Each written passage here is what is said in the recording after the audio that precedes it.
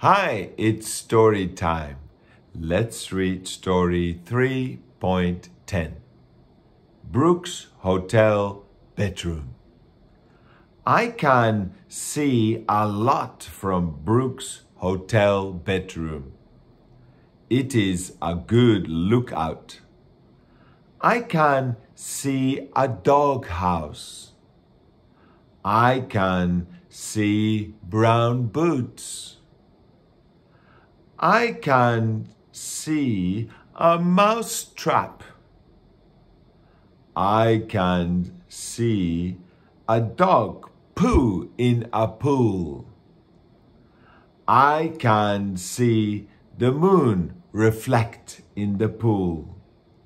I can see stars. I can see clouds. I can see a crook steal a car. Oh no! I contact the sheriff from Brooks Hotel bedroom. I can see the crook's arrest from Brooks Hotel bedroom. Brook checks out this afternoon. It was good fun in Brooks' hotel bedroom. I need to sleep. Yeah. Uh.